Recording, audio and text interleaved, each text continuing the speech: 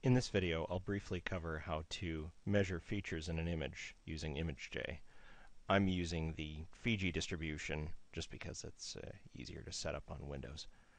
Now, first we'll have to set our scale in this image. Fortunately, this image contains a ruler, so we'll just draw a straight line that's one centimeter.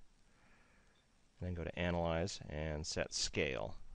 And you'll see that it's counted the length in pixels, so we'll just have to tell ImageJ that that is one centimeter long, and click OK.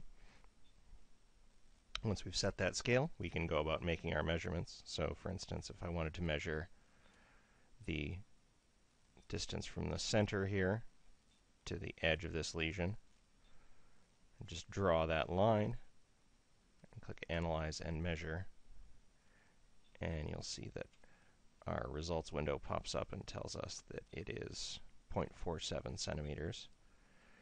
And you can continue making different measurements. And they'll be added to this table. Once you're done, you can select your results and just edit and copy and then paste into your favorite data analysis or spreadsheet application.